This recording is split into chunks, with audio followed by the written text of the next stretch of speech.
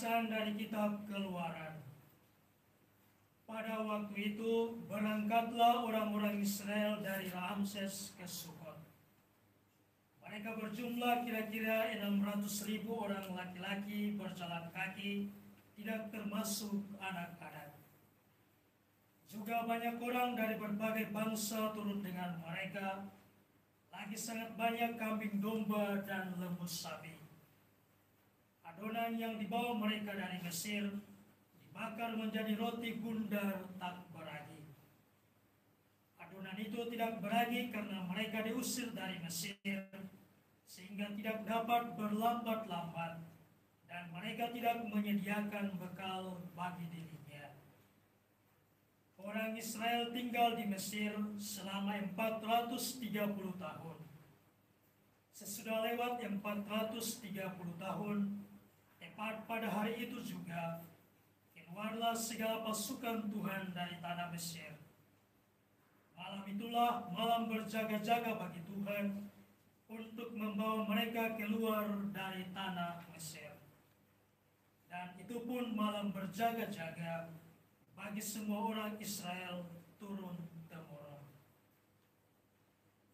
Demikianlah sabda Tuhan.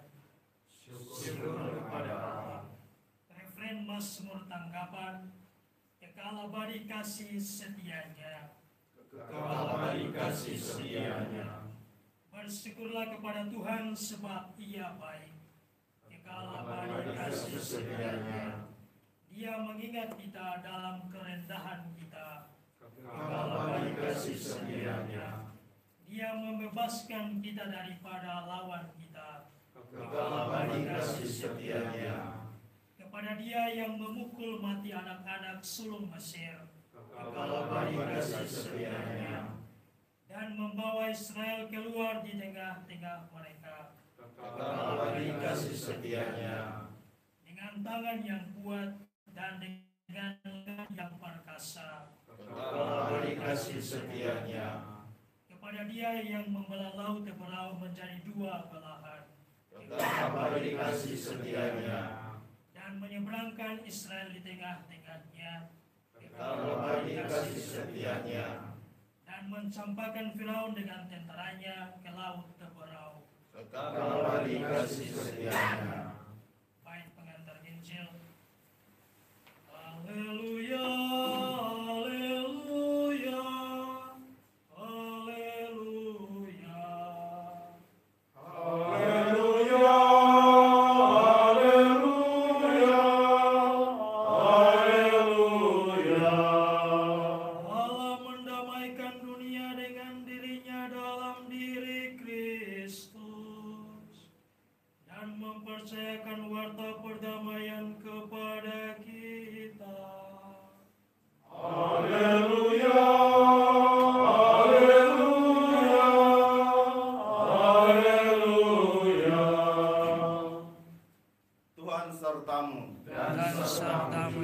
Inilah Injil Yesus Kristus menurut Santo Matius.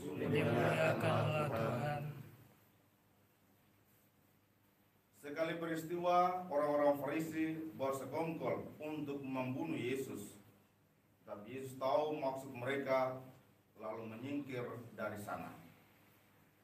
Banyak orang mengikuti dia dan ia menyembuhkan mereka semua.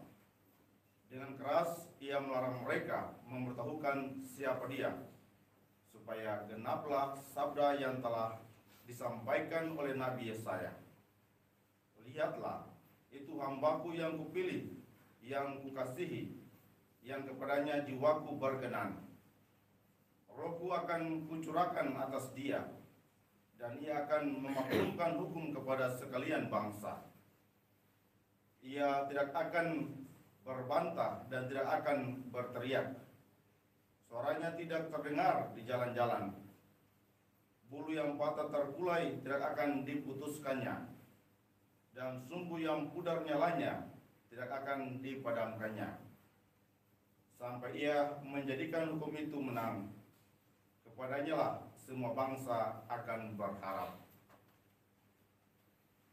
demikianlah Injil Tuhan Terpujilah Kristus.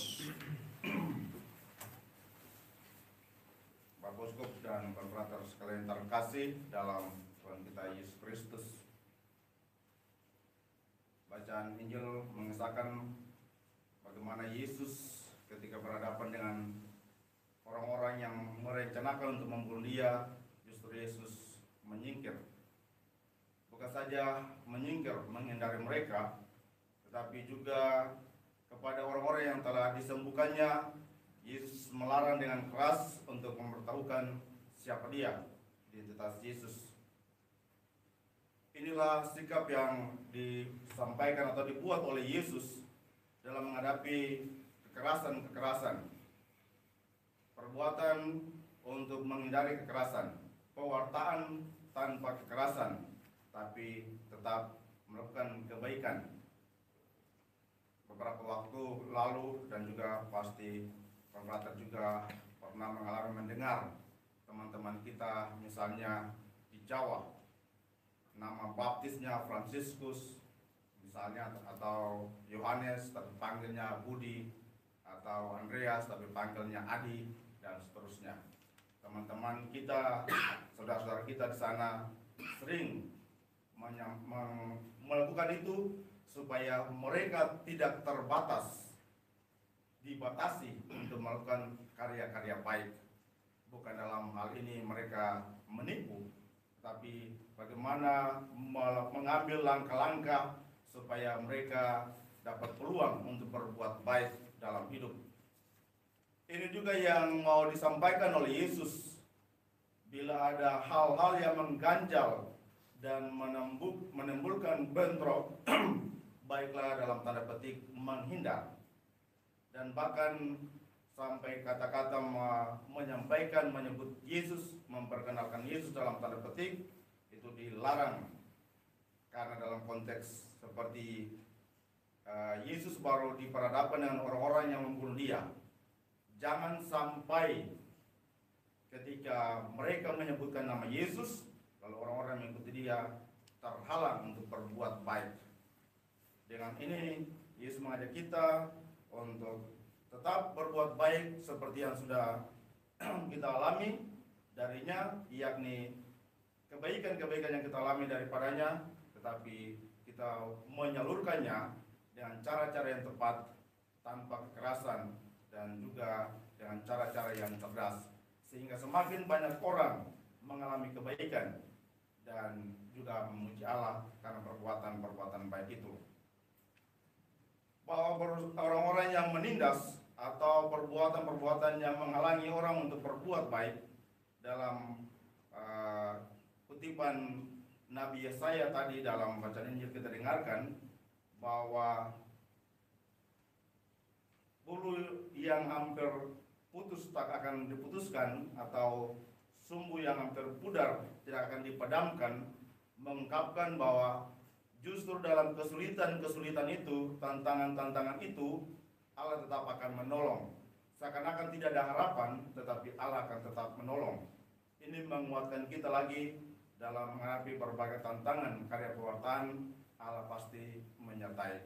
Mari kita berdoa supaya dalam kehidupan kita, dalam berbagai kesulitan, tetap dengan cara-cara yang baik, melakukan kebaikan, mengatakan kebaikan, sehingga semakin orang percaya akan Allah. Semoga demikian. Amin. Amin.